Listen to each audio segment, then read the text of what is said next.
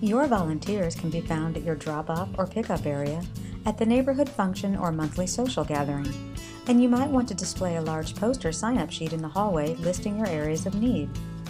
During the initial meeting, line up a healthy reserve of volunteers who rotate throughout the year.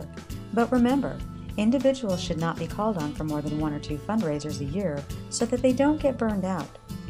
Busy parents don't always have your organization's calendar on their mind. Make folders describing your mission, the people on the team, and their contact information, and include a snapshot of the year's calendar of activities.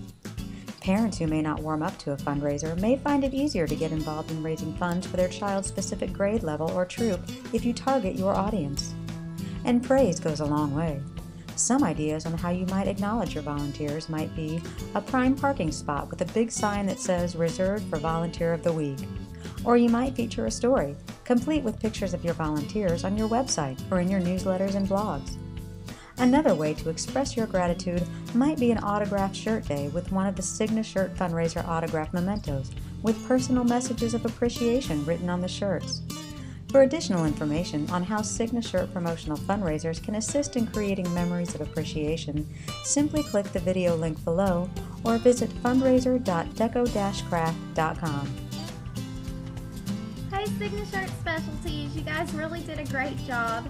Everyone at our school is so excited for Autograph t-shirt day so that they can find everyone's My Pen Pals shirts and everyone's Make Your Statement shirts.